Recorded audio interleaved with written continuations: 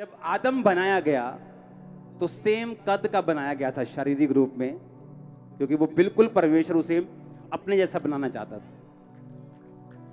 Same height वो, वो आपसे इतना प्यार करता है सोचो।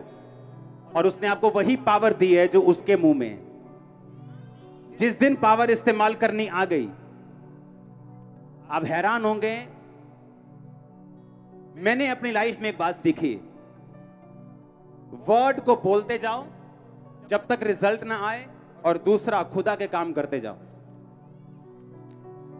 सुनो मेरी बात जब जब मेरी बेटी हुई तो उसके इधर आँख के पास उसके इधर एक एक छोटा सा ऐसा था जैसे कोई पिंपल हो गया हो।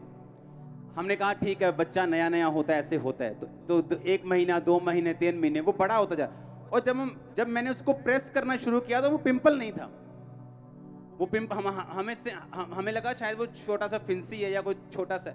वो पिंपल नहीं था वो एक एक तरह का उसके बन गई थी वो चीज़ इधर आँखों के पास। मैं आपको फ़ोटो दिखाऊँगा उसकी फ़ोटो है मेरे पास।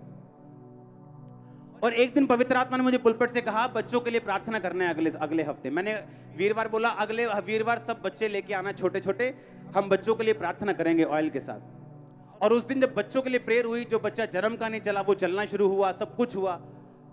और ऐसे ही वो हमारे बच्चे भी चर्च में थे, हमने उनके भी तेल लगा दिया। और जब सुबह उठ के मैंने उसको देखा, उसकी वो चीज़ गायब हो चुकी थी। तो मैंने ये इस बात को महसूस अपनी लाइफ में भी किया। वर्ड्स बोलते जाओ और खुदा का काम करते जाओ। अपने आप सब कुछ ठीक हो जाएगा।